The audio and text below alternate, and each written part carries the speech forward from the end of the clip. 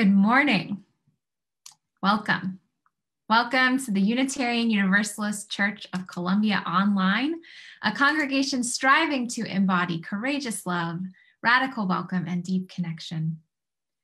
We are so grateful to be gathered this morning, remembering that our church is not a building, but a beloved community of all of us together in all the ways we are still so connected. I'm the Reverend Molly Housh Gordon, minister of this congregation, and I'm so glad to welcome you to our community. Although we miss gathering in person on Sundays, our online services have given us the opportunity to connect with folks we might not have met otherwise. And we wish to welcome anyone visiting us from afar this morning. Always, we wish to welcome any members of the Jefferson City Unitarian Universalist Fellowship, as well as all of you in Missouri and beyond. We want to share a few comments about protocol for our online worship. We are in Zoom and streaming live on Facebook. For those of you with us in Zoom, we're on webinar mode, which means we can't see or hear you. Feel free to eat your breakfast in your PJs. Don't worry if your day is a bit noisy. It won't bother us. You will be able to say hello and interact with the service through the chat feature and through comments on Facebook. If you're with us on Zoom, make sure you select panelists and attendees so everyone can see your comment. And I'm going to be using the chat quite a bit today um, to engage your wisdom. So make sure you have those settings uh, on everyone so that we can all see what you have to say. A few notes about accessibility that will also remind me about the accessibility that we are uh, using Zoom's native auto captioning service, which is now turned on, and my apologies that it wasn't already. That means you should now be seeing automatically generated subtitles at the bottom of your screen. You'll have several options for those if you click the live transcript or closed caption button. If you don't want to see the subtitles or find them distracting, you can say hide subtitles. Or if you prefer them to appear at the side of the screen as a live transcript, you can choose view full transcript. We know that auto captioning is never entirely accurate, but we hope it is helpful. We will also be providing spoken and sometimes written image descriptions of the videos and images we use. And we'd like to invite you to please contact us if you have any other accessibility or inclusion needs that we can strive to meet in our online worship. You can email me at minister at uucomo.org. If this is your first time worshiping with us, we'd like to invite you to fill out a digital visitor's card at the link provided in the chat and let us know a little bit about your interests. And finally, I would like to thank everyone who makes our online worship possible. Thank you today to our online usher, Larry Lyle, our worship associate, Holly Daly, digital arts video editor, Carol Arnold, program leaders Maria Apollo and Jan Weaver, and our virtual choir and band. And of course, we are always grateful for our amazing staff, April Rodagero, religious educator Jamila Batchelder, Jeremy Wagner, music director, and collaborative pianist Hans Bridger Harris. And as we begin our gathering this morning, we are going to hear a quick stewardship update from our stewardship team member, Maria Apollo.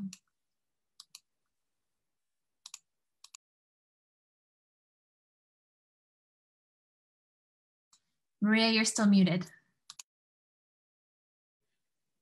I was already halfway through. No. good morning, everybody. Good Sunday to you all.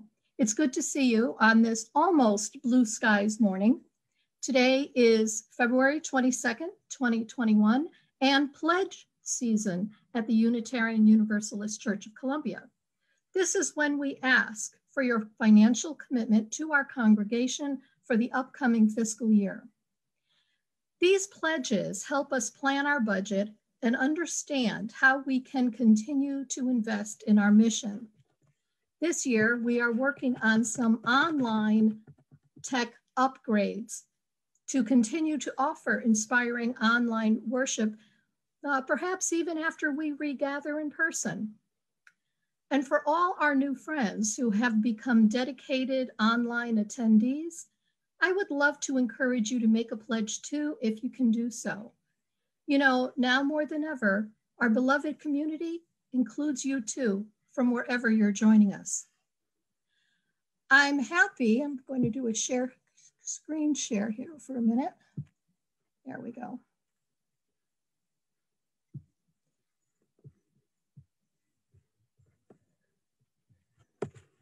Oh, let's see what happened to the other document. Um, so far this year, um, we have raised about a third of our budget at $103,000. Could you, Chris, could you get the door? 103, sorry about that, with about 38 pledges um, that we've received so far. Um, that is out of about 175 families who uh, normally uh, support us. so um, this is a, a really good start. We're really happy with this. So if you haven't filled out your pledge card, you can go online at uu uh, and you'll see links to uh, online. If you are one of the uh, local members who received a care package, there's a postcard in your box that you can um, mail back to, to the church uh, telling us what your pledge would be. And um, it will go a long way towards helping us fulfilling our mission, as you well know. Um, we need to tell you clearly that in whatever way you are able to support our congregation, either with time, talent, and financial support, we are grateful to you. You make it possible in all the ways you show your love to our community to help us show our love to the wider world. So, in celebration of our campaign, we'd like to share with you this morning a few love notes to UUCC.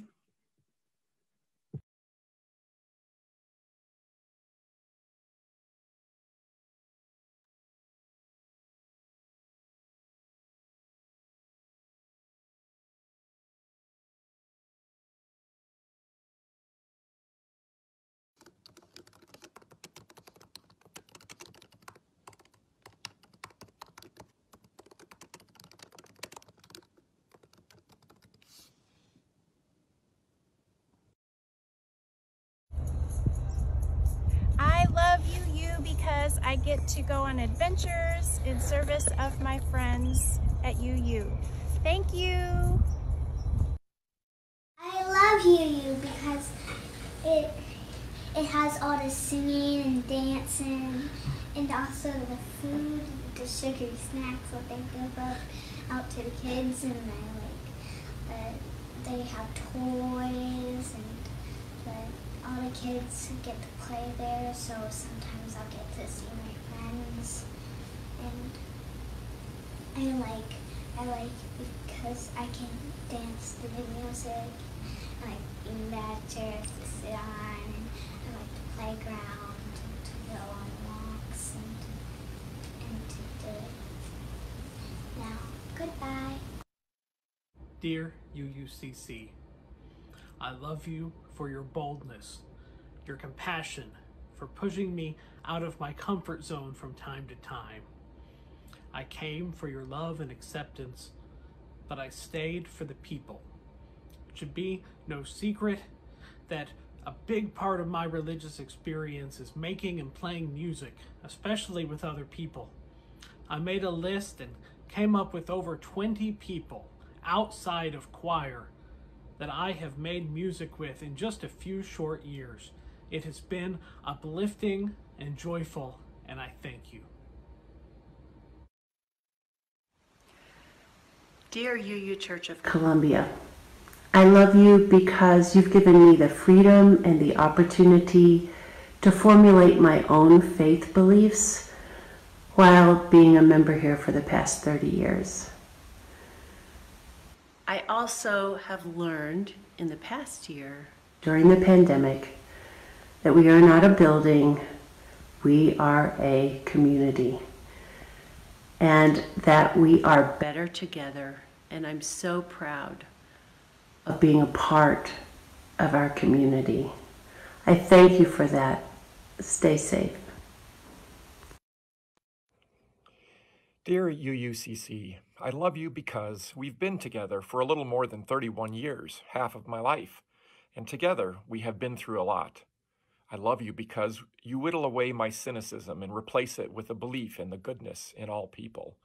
I love you because you have given me many opportunities to do things for others, deeds over creeds. I love you because of the joy I get from sitting on the floor and reading storybooks to three to five year olds. I miss you, Potter kids, so, so much. Dear UUCC, loving you is not so much a feeling I have, but rather a decision, an action. Loving you is what I do, and I so appreciate you being here for me.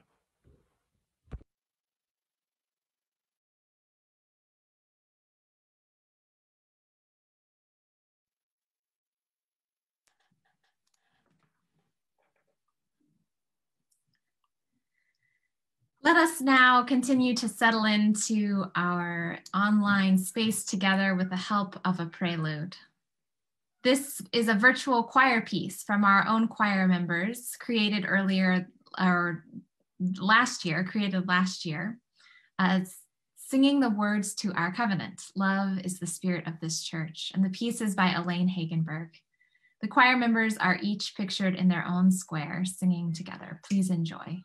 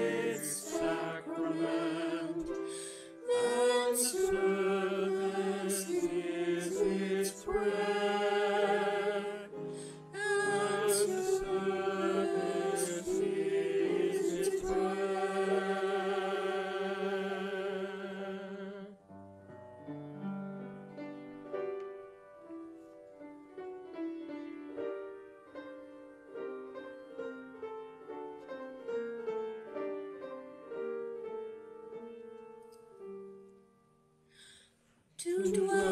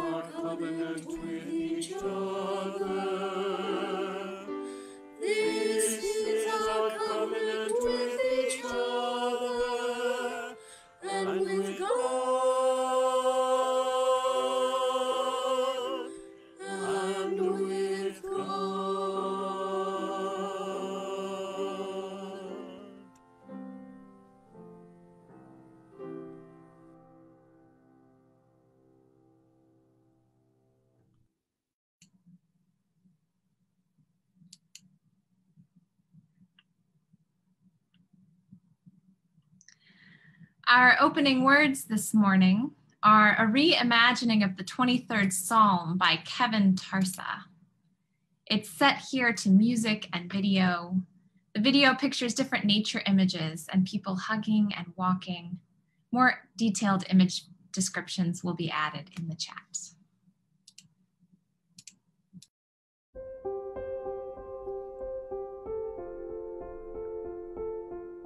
I remember in this tender moment that love is my guide always, shepherding me toward ways of openness and compassion.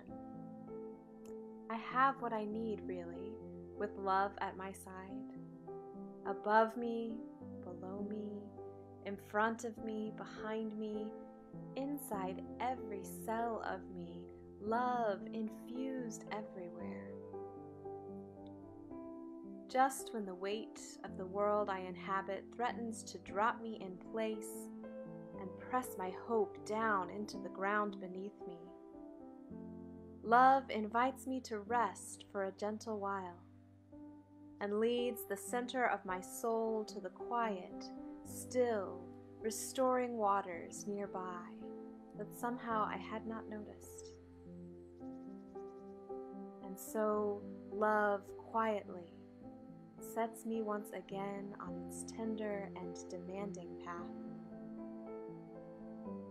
Even when the walls close around me and the cries of death echo through untold corners, ripping my heart with fear and sadness, I know, I know that all will be well.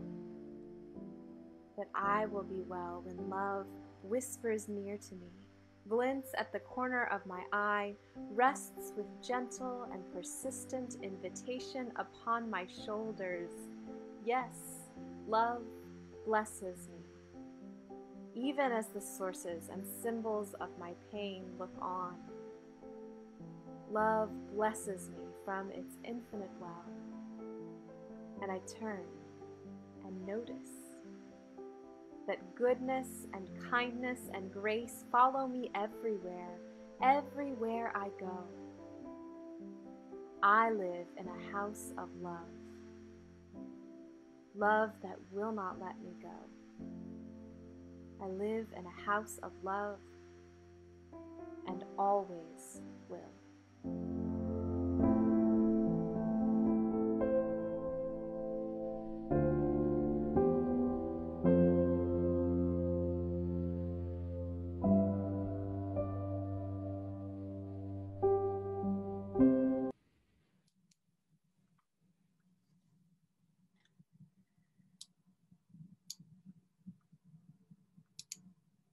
Our gathering hymn this morning is number 318, We Would Be One, arranged in this case by Sonder Choi and performed by Chloe Vaught, Javon Haskin, Sonder Choi, and Michael Miersma of the UU Community Church of Santa Monica.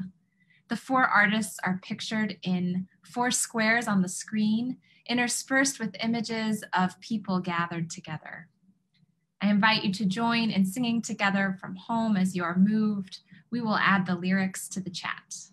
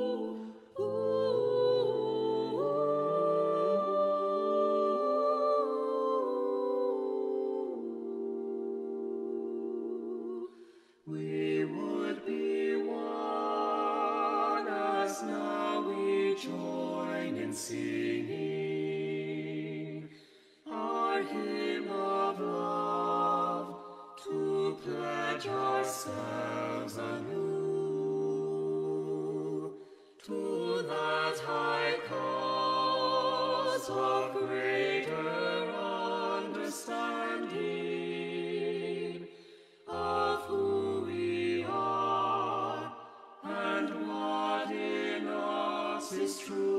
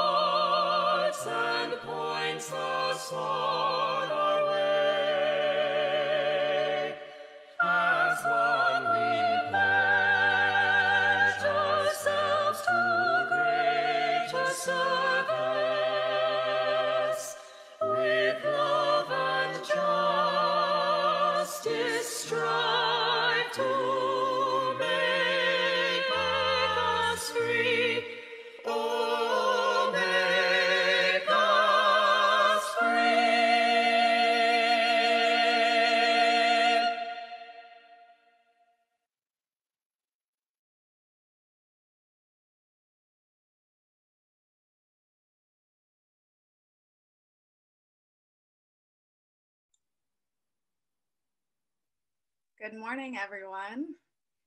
Uh, we now light our chalice, the symbol of our faith in the community that holds us, and the bright flame of the human spirit that unites us. As we share an image of our church chalice on the screen, you may wish to light a candle at home or look for one in uh, the chat, a digital chalice. Uh, please join me in lifting your words in homes across our city, country, and world to share our weekly words of affirmation shown on the slide and shared in the chat. Love is the spirit of this church, and service is its law. This is our great covenant to dwell together in peace, to seek the truth in love, and to help one another.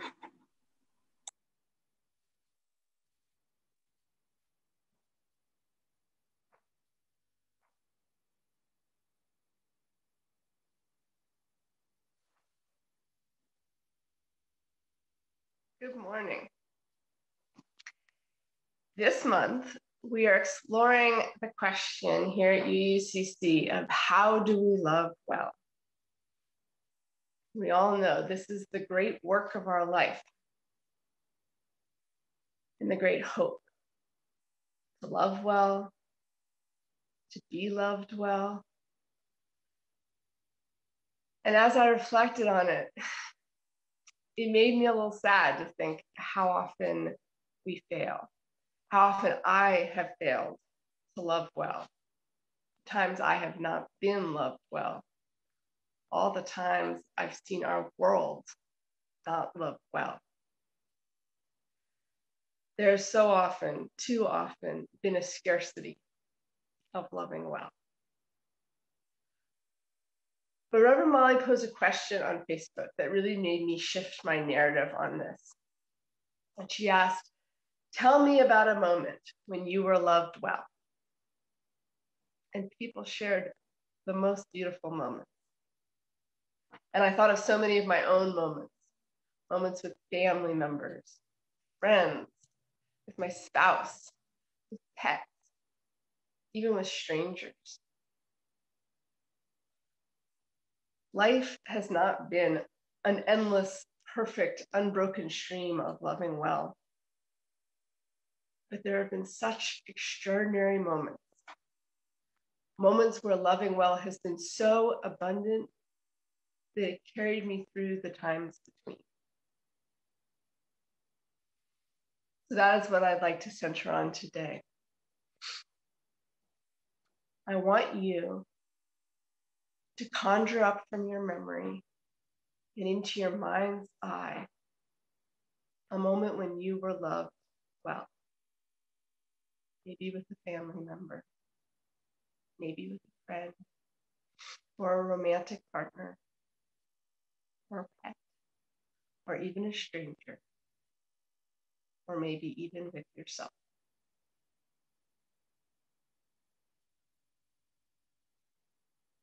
Try to remember all the sensations of that moment, sensory details, try to fully inhabit it. The light, textures, sounds.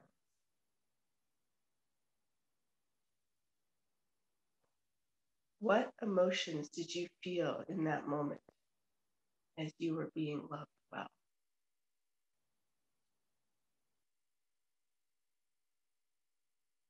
What did it feel like in your body on a cellular level, in your muscles and in your bones?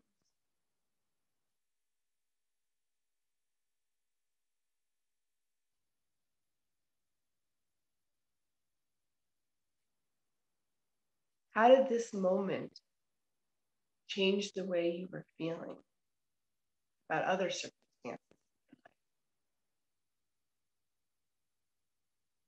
How did it change you?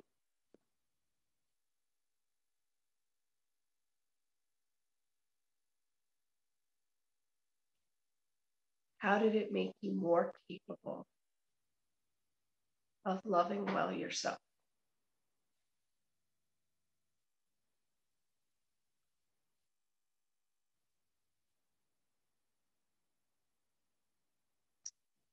Even though this moment is past,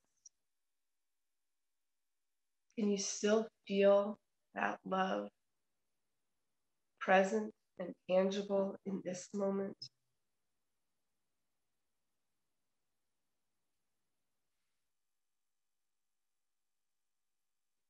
Let's just take a moment to feel its realness.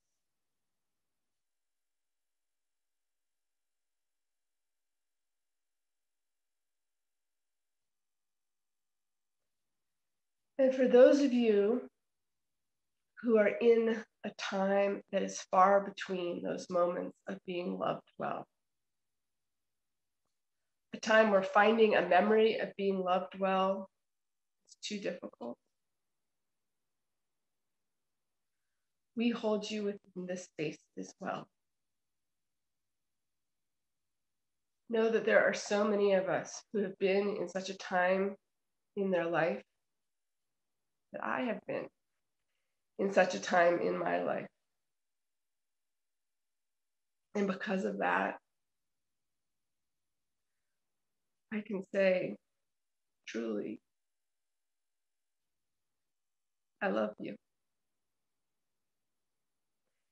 And that so many here love you. And that you are held in our love always. That we hope you can feel that even at this distance. Let's sit here together a moment longer in that love and know that we may not be able to love or be loved perfectly at every moment, but perhaps in the right moment. We can love each other well.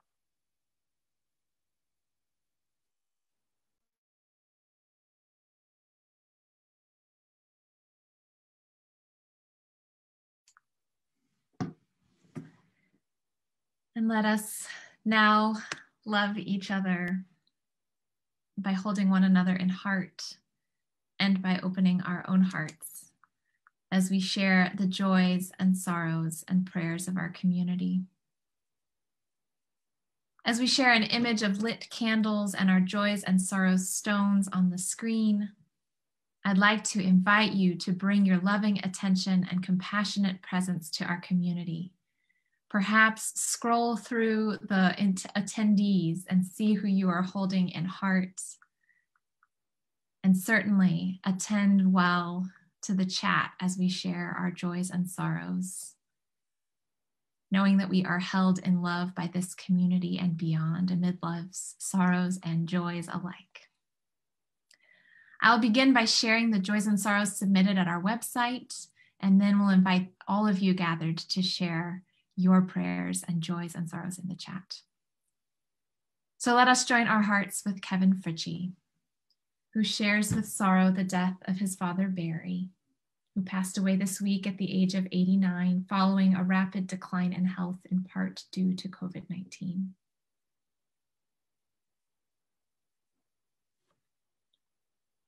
And let us join our hearts with Kevin McKiernan, who shares sorrow for the unexpected death of one of his younger cousins, Donnie. And let us join our hearts with Mark Tyler and David Luthold and other friends who wrote to share concern for Ellen Atkins, who fell earlier this week and fractured her spine. Ellen will be in a body cast for eight to 10 weeks and is at University Hospital now, expecting transfer soon to reach rehab at Lenoir. Ellen, we share so many healing wishes with you as you recover, and we are so grateful for the excellent care we hope you are receiving. And let us join our hearts with Ellen Atkins and Jim Shanto, Unitarian Universalist neighbors at Lenoir Woods, who both want to express their condolences for the passing by gun violence of Jacob Cole, who worked in food services at Lenoir. He died on February 15th, and he was beloved among the staff and residents for his friendly greetings and big smile. He will be missed, and we extend our condolences to all whom his loss touches. And let us join our hearts in deep concern for the people of Texas and northern Mexico amid the past week's terrible winter storm and the dangerous power failures in frigid temperatures.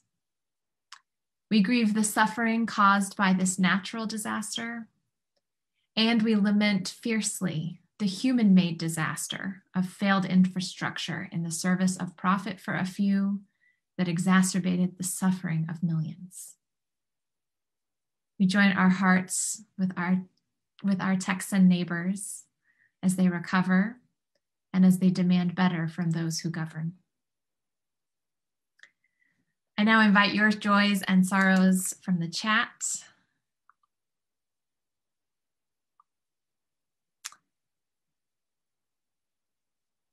We join our hearts with Jim, who shares joy at receiving a second COVID vaccine on Thursday. We're so glad. Tonette, we share deep prayers with your son who suffered two seizures last night, anxiety and a migraine. We wish for healing and answers for his for his maladies. We join our hearts with Rebecca, who remembers her father who would have turned 88 yesterday. We join our hearts with Megan, who wishes Sarah's daughter, Chloe, a happy seventh birthday tomorrow. We join our hearts with Patty, who shares joy that her parents have received their second Fauci ouchie. I find that hilarious. I'd like to share joy that my parents are now fully vaccinated and are here in Columbia with their grandchildren at this moment. We join our hearts with Alan, who mourns for his friend Mike Harris, who passed away this morning.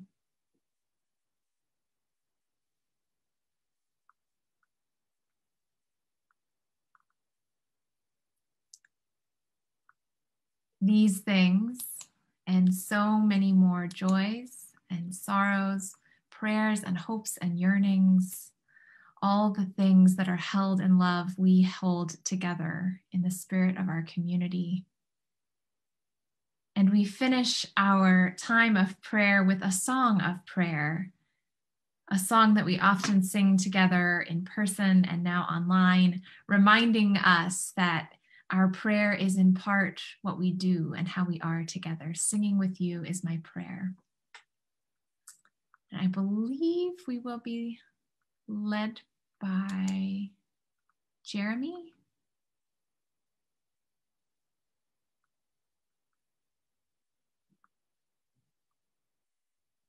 No. Okay. We will be led by. Oh, yep, there he is. Okay. Yeah, sorry. Singing,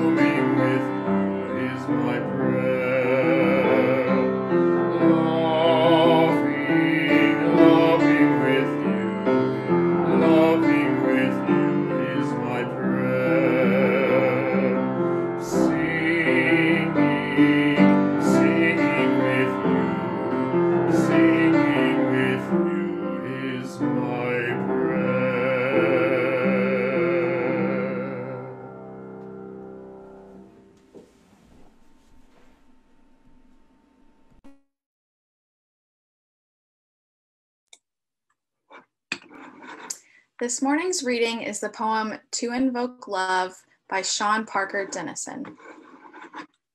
To invoke love is to ask for a hug from a thunderstorm, spill the tea in the lap of the infinite trickster, to make the biggest, most embarrassing mistake of your life in front of everyone who matters. To invoke love is to never know if it will come softly with the nuzzle of a beloved dog or pounce right on your chest with the strength of a lioness protecting her cub, her pride, her homeland. To invoke love is to take the risk of inviting chaos to visit the spaces you spent so much time making tidy and watch as the breath of life scatters everything you have only just folded and put away. To invoke love is to allow for the possibility that your words and actions might become so empowered that you can no longer believe in apathy or the self righteous idea that nothing can change. To invoke love is to give up self deprecation, false humility, pride, to consider yourself worthy to be made whole, willing to encounter love that will never let us let each other go. To invoke love is to guard against assumptions, to care with our words and practice forgiveness, not as ethereal ideal, but right here in the messy midst of our imperfect lives. To invoke love is to approach each day and every person with wonder, anticipating love's arrival. Is this the moment? Is this love's grand entrance? Is this person the embodiment of love? Am I the one? To invoke love is to play the fool, the one more concerned with loving than with appearance or reputation, the one ready and willing to be vulnerable, abandoning anything that gets in love's way. To invoke love is to be ready to become love, here, now, in everything we do. Are you ready? Here ends the reading.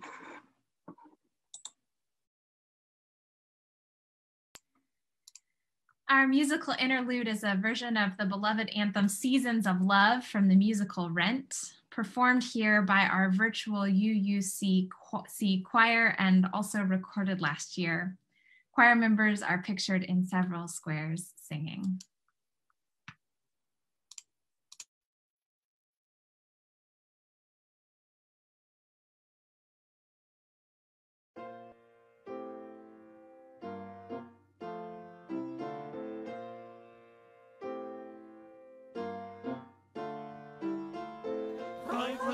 25,600 minutes, 525,000 miles so dear.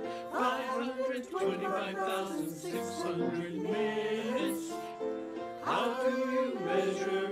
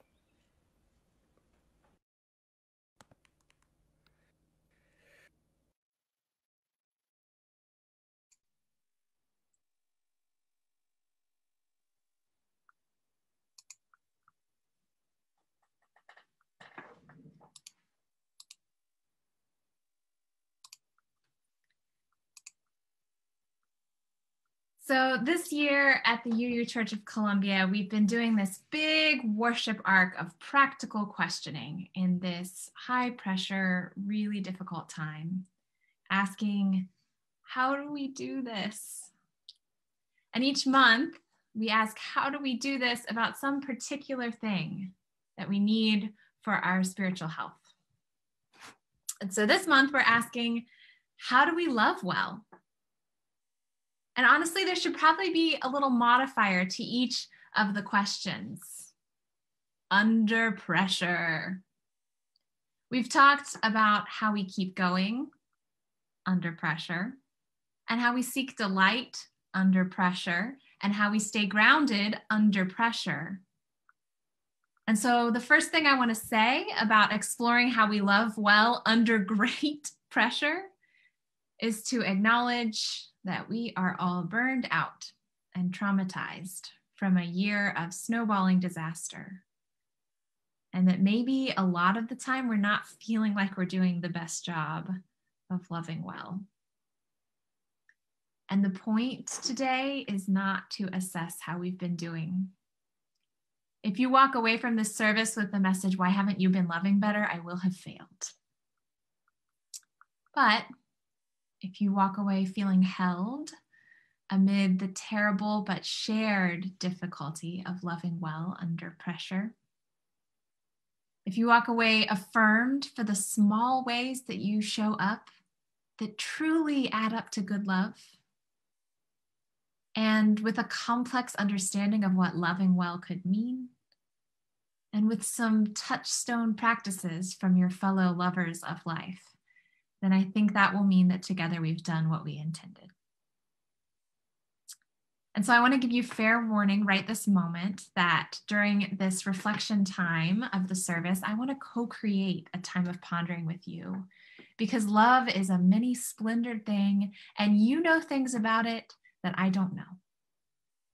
So I'm going to ask you to build this thing together with me. Get your typing fingers or your thumbs or your dictation software ready. I'm going to ask you a couple of questions to engage and share with me in the chat. So Jamila asked you during our centering moment to sit with a memory of being loved well and to try and remember everything about it so that you could bring it back into your body. And I want to call back that moment now. I feel very lucky that I had a lot of examples come to mind from my family, from my spouse, from friends and strangers, from my pets. But I feel like we don't often talk enough about the love of our friends and the love of chosen family um, in kind of the, the broader narratives around love in our culture. So, the story that I really wanted to focus on for myself um, was a story when my best friend Karen loved me well. It was a time during seminary when I had a kind of scary health scare and I had to go for some medical testing. And I'll tell you right now the end of the story is that I was fine. Thank goodness. I know that is not always the end of the story, but in this case, that was the end of the story. And um, yet, I had to go through this testing to get to that end. And I had to go through this period that I'm sure many of you know uh, this excruciating period of waiting for results. And all of a lot of the people in my life, a lot of my loved ones, they wanted to to to think that I was going to be fine. They really needed to know that I was going to be fine. And I wished for that too, but I was really scared. And Karen was, I think, the only person in my life who looked at me when I was talking about how scared I was and said, You're right. It might not be fine. You might not be okay. But I am with you, whatever happens, and we will deal with it together, even if it's not fine. And I still to this day remember what a relief it was to have somebody willing to be with me in the hard possibility and the truth that felt too scary for most folks to speak that there could be something wrong. And so, what I learned from that moment um, is that love isn't afraid to face hard truths, and that love is presence to whatever is, and a commitment to continue that presence. And I am so grateful that I learned that from my friend Karen at that time and in many times since. I learned that from many loved ones. And I want to ask you, what have you learned about love from a moment that you were loved well? What did you learn from the story that came to mind for you during Jamila's centering time? Will you share a sentence in the chat about what you've learned that it means to be loved well? And I'm going to read them out, and you're going to help me create this reflection together. What does it mean to be loved well?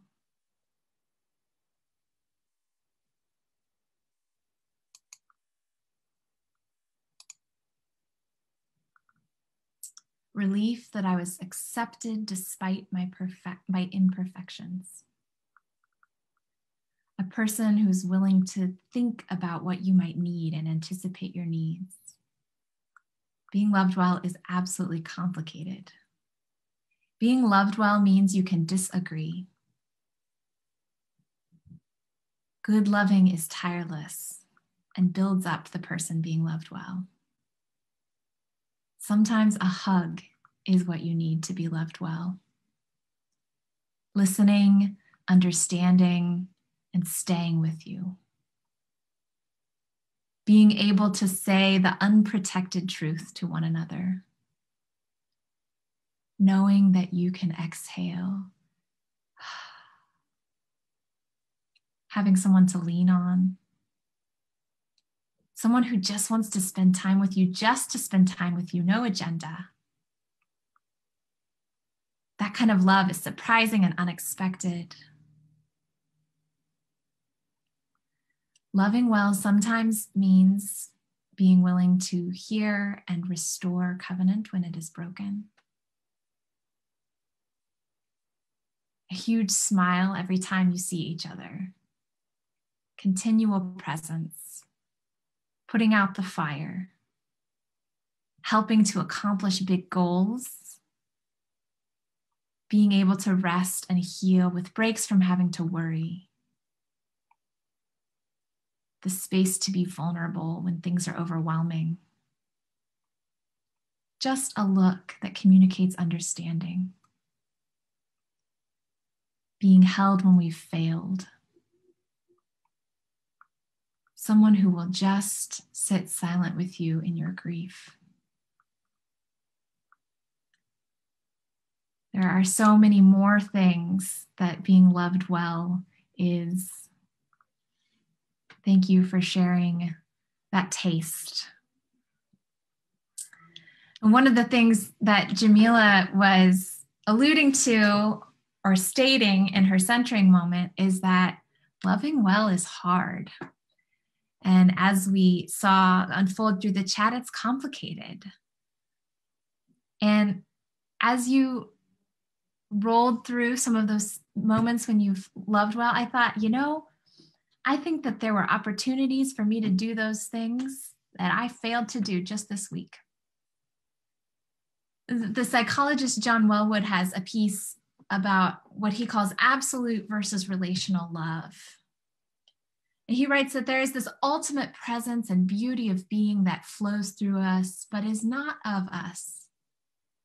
And that sometimes we can tap into that absolute love, that kind of universal love that we talk about in our theology. Sometimes we can tap into it and it comes through us in joyful presence.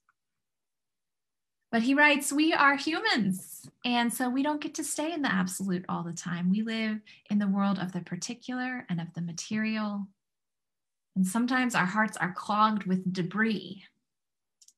And when the absolute meets the real world, it can come out sideways so easily. We live in, as he writes, a strange gap between absolute love, the perfect love we can know in our heart, and relative love, the imperfect ways it is embodied in our relationships. We experience love as powerful, but we also experience relationships as difficult and challenging. And this is not because we're doing it wrong. It's because we live in a world that is material and entangled and confusing, that is terrible and beautiful in equal measure. And these truths live and tug in our hearts. And because we've been hurt, and because we live in oppressive systems, and because other people are mysterious to us and often really frustrating. And because we are so beautifully and imperfectly human, love does not always flow freely through us. Sometimes things get in the way. I invite you to sit for a moment with the ways that your heart gets clogged up. Perhaps to notice something about how and why it gets blocked.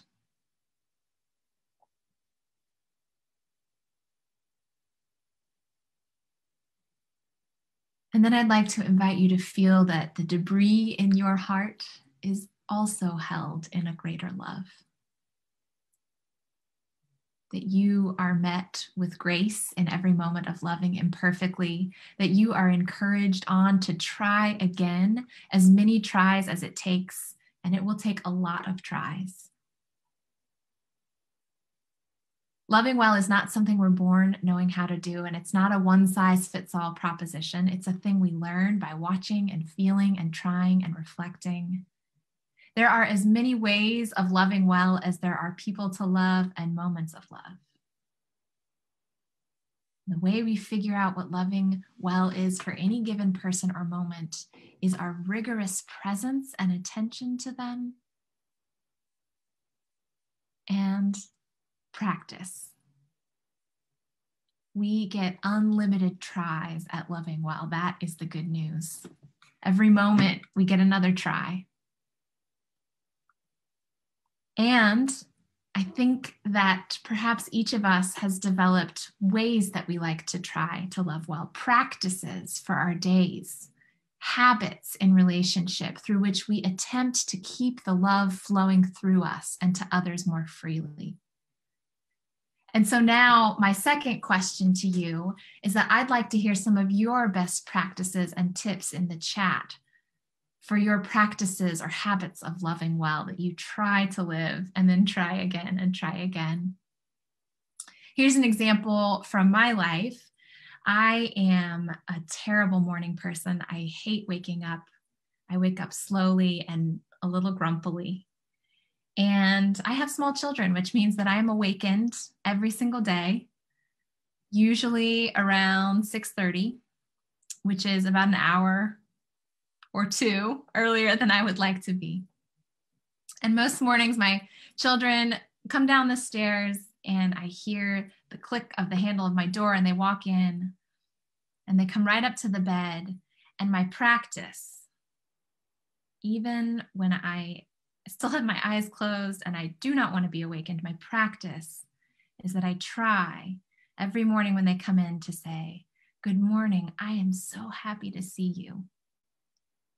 So that they start their day knowing that I'm delighted by them. I try to say it even when it's only mostly true. And sometimes I fail. As a matter of fact, as I was preparing this sermon, I had already decided to use this example. And then Saturday morning, the kids woke up before six o'clock. And the way they woke me up was by screaming my name from their beds, my full name, Molly Housh Gordon, over and over and over again. They screamed it. And I, I, I stomped up the stairs and I said, What do you need? And I got them settled and I got back in my bed again.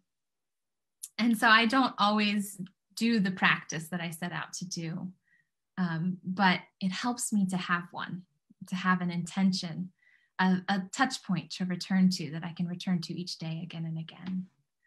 And so I'd like to invite you to share some of the ways that you intentionally try to practice love.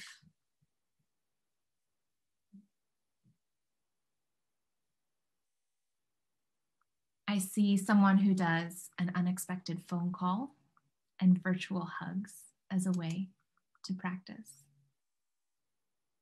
What are some of the practices that you've found as you try to love well? Pausing before reacting. Mailing care packages. I love receiving mail.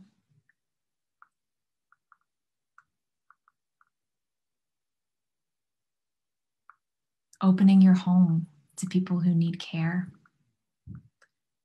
Trying to remember to ask if someone would like support or suggestions before offering them withholding judgment, being the one to reach out first, checking in via text, sending cards and letters, being present to someone who might no longer recognize or know you, sending thank you notes through the mail, hugs, and my, how we miss those. Radical acceptance, singing with a spouse while driving, sharing at the last moment every evening what they're grateful for from that day, and just saying, I love you. Doing dishes when it's not your night. Now that is love.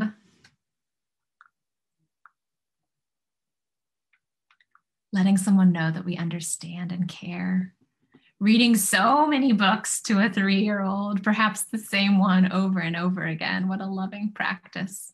Listening and listening and listening some more.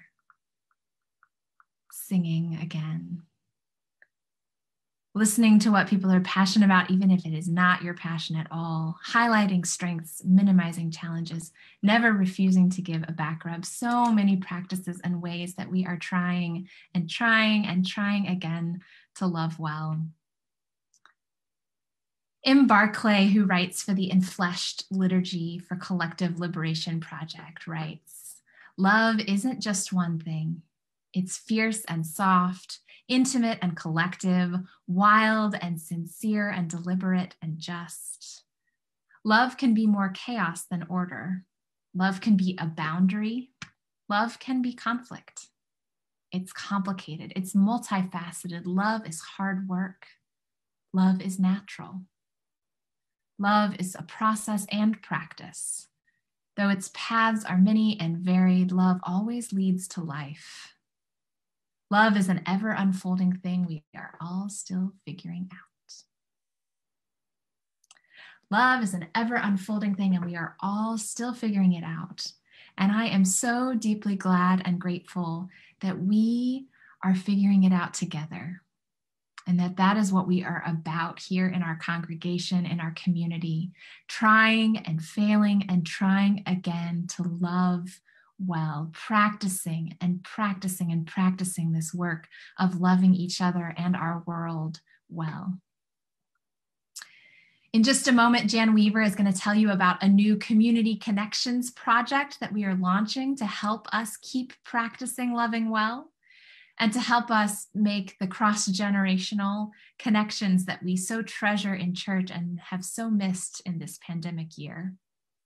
We hope you'll sign up this week when we send out more info so we can practice the deep connection and the love that we're about together. But first, I'd like to invite you to conclude this time of pondering together by singing just as long as I have breath. As we set our intention that love will be our legacy, we'll set it with these lyrics. Jeremy will lead us, and the words will be posted on the screen and in the chat.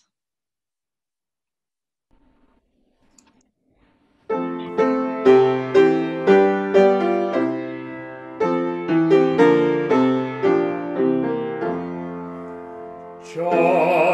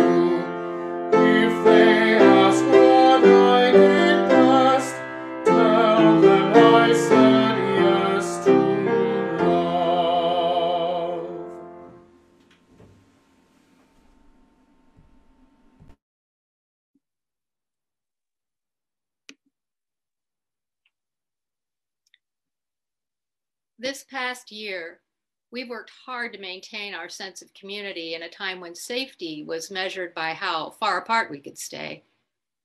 Sunday worship pivoted to online meetings in time for Easter. By June, we had an online coffee hour so we could catch up with each other. By the fall, many groups were meeting in Zoom or organizing their work by email so we could continue to feed the homeless, or gather supplies for those in need, or provide scholarships for friends in Honduras. We also had Zoom hangout time for choir, crafters, and chalice circles. The winter, this winter, porch drop-offs took off as a way to engage each other in the real world, even while we maintained social distancing. However, almost everything we do now is structured by the capabilities of Zoom and email. And if they can't do it, it's not going to happen. And while Zoom and email strengthen the relationships we're already in, whether committees or interest groups, they aren't great at sparking new connections. I think that is why the porch drop offs had such a joyful feeling about them. They were a new and sometimes surprising connection to our church community. The Community Connections Project, or CCP, is another way to help us expand our sense of community, our sense of belonging, of mattering to others, of being part of something larger, and of a shared emotional connection. In this project, we invite families of all configurations to each connect with one other family. A family can be a person living alone, a couple, a nuclear family, an extended family, or a created family. Once you sign up, your family will be partnered with another family, ideally one you don't know, or at least don't know well, and one with a different configuration. The project expectation is that your family will have a conversation with your partner family by mid March, and that both families will connect in some way at least once in March, April, and May. Connections can be virtual or socially distanced in person. You can do a mutual cookie drop off, watch the same show together on Zoom, or meet for a hike in the park. We have a project flyer with a list of suggestions, and if you come up with other ideas, we would love to share them with the other families participating in the project. Um, you can sign up for the Community Connections Project at the link that's just been provided in the chat. We don't have a firm deadline, but please try to sign up before March 7th. Once we get a critical mass of families signed up, the project organizers will start partnering families and sharing with them information on contacting each other. After that, the project's in their hands. Though if you have questions or encounter any difficulties, you can contact me at jan.weaver57 at gmail.com. And I'm going to go ahead and post my um, email there. Don't forget 57. Um, please put CCP in the subject line so I know how to treat that email. Who are the project organizers? We're a subgroup of the ministry T that met last fall. The T is a meeting for committee chairs we started about two years ago. We were meeting a couple of times a year to share issues and to get on the same page with respect to our church vision and mission. At our fall meeting, there was a lot of concern about social isolation. Six of us, me, Susan Even, Todd Iveson, Ruth Millage, and Steve and Joan Mudrick began working with Molly and Jamila to come up with a way to address this. We worked to develop something simple and open-ended while thinking about logistics, expectations, and because it was families, rules regarding minors. We even had a what could go wrong discussion. The Community Connections Project is the fruit of our efforts. The project organizers don't know what will happen. Our hope is that all of our families will be able to connect in a meaningful way over the next three months. However, no plan survives first contact with reality, so we are ready to help if things don't go as hoped. Remember, jan.weaver57 at gmail.com. And we do welcome feedback to help us make it better, even as it is happening. To paraphrase ABBA, take a chance on us. Thank you.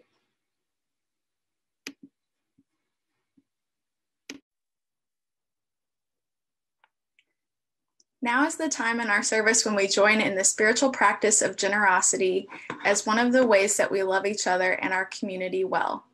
This morning is one of our twice monthly Faith to Action collections when your donations go to an organization doing good works in our community.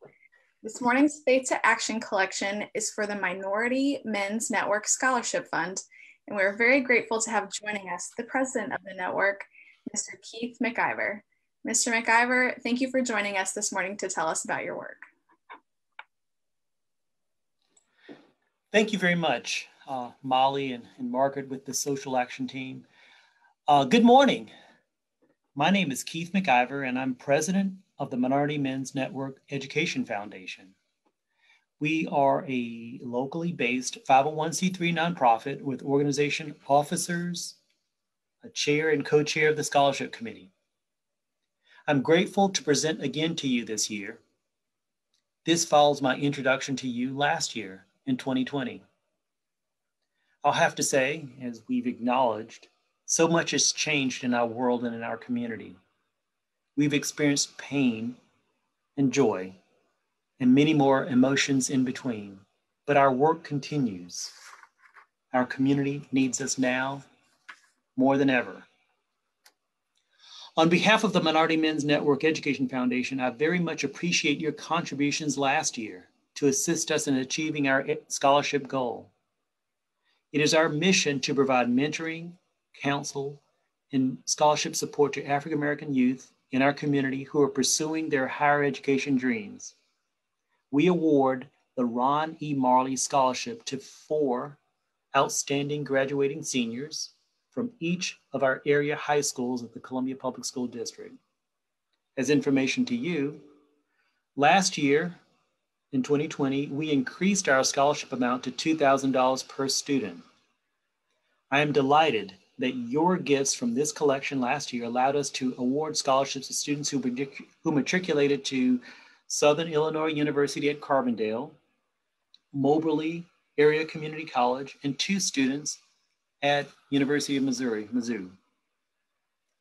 As the scholarship committee has already announced the 2021 Ron Marley Scholarship for this year, I appeal to you through this Faith to Action collection in helping African American youth in our community through this scholarship opportunity. The students desperately rely upon critical financial assistance to attend college. We hope to resume our face-to-face recognition luncheon and reunion later on this summer. But thank, thank you for re rewarding our community youth through the Minority Men's Network Education Foundation. Thank you. Thank you so much for joining us this morning and really so much for your essential work for our community, supporting our community's youth. I invite the congregation now to give as generously as you are able with the link in the chat. Uh, please select Faith to Action Collection if you give it the link. And of course, we can always accept checks uh, mailed to the church uh, with Faith to Action in the memo line. All of this morning's offering will go to this critical scholarship fund. And we'd like to invite you to give during a moment of music. Um, our offertory this morning is an original composition by our church band called Winter Groove. So um, please give and please enjoy.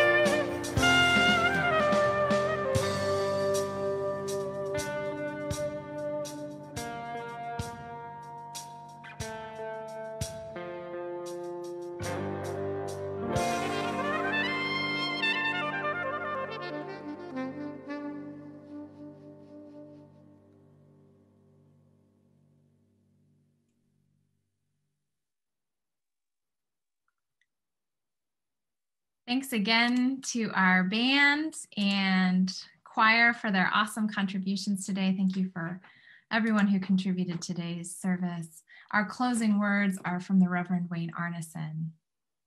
Take courage, friends.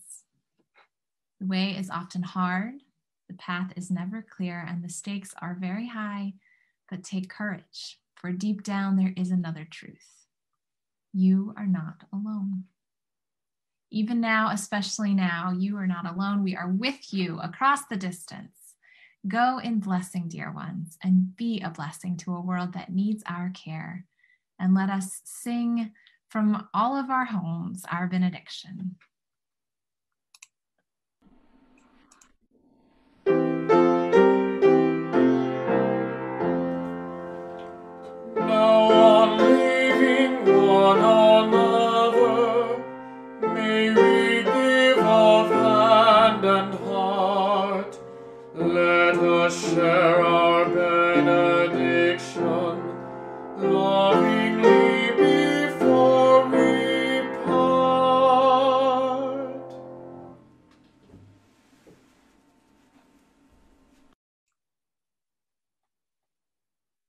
Thank you all so much for joining us this morning. Now is the time when we hold our coffee hour where we can see one another's faces and chat and check in. I was reminded by someone that not all of you might know that it's not just a raucous, huge meeting full of faces and cacophony. We do that for a minute, and then we go into small breakout rooms where you can um, chat more deeply with five or six other UUs. Um, and so we would love to see you in coffee hour to catch up a bit, to check in more deeply, and to see one another's faces, which we missed so much. Um, we do have a new coffee hour link these last few weeks. Um, it's posted in the chat and the meeting ID and passcode coffee are on the slide. We'd love to see you in coffee hour. We look forward to seeing you next week. Take care.